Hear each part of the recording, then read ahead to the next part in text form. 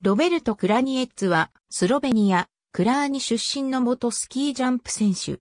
1998年3月13日、トロンハイムでスキージャンプワールドカップにデビュー。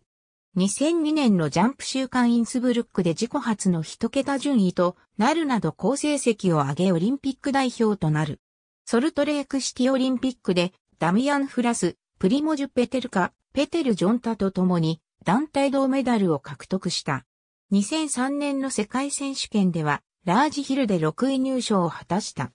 2005から2006シーズンの開幕シリーズで3位と1位に、ナリコの時点で総合1位の証であるゴールドビブスをつけることとなった。このシーズンは自己最高位の総合16位で終えた。トリノオリンピックでは個人ノーマルヒル41位、個人ラージヒル49位と振るわなかった。2009年8月30日のサマーグランプリで勝利。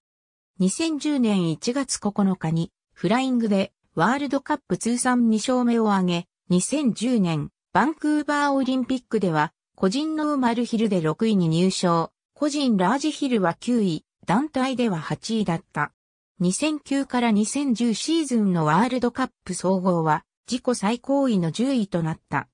2011年ノルディックスキー世界選手権では、ラージヒル団体で、ペテル・プレブツ、ユーリ・テペシュ、イエルネー・ダミアンと共に、銅メダルを獲得した。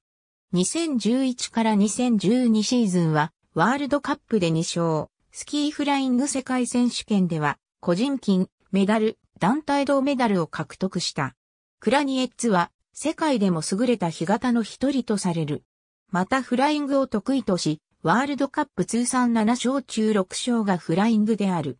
近年は故障に悩まされていたが、2019年3月20日にソーシャルメディアにて引退を表明した。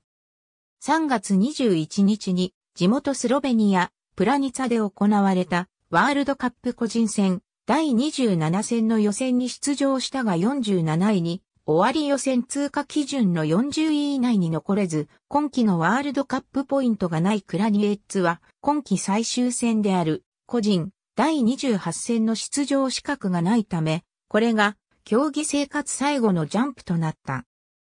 3月23日に、同地で行われた、ワールドカップ団体第7戦の1回目、2回目間のインターバルに、クラニエッツ本人と娘のピカ・フェルシアックの顔をプリントしたゼッケンを身にまとい、コーチの買い添えを受けたピカ・フェリシアックのスタートの合図で引退ジャンプを行い、クラニエッツからスロベニアジャンプチームのキャプテン指名を受けたペテル・プレブツの計らいでその試合で3位に入ったスロベニアチームの一員として、ペテルの弟ドメン・プレブツに代わって表彰台に登壇した。ありがとうございます。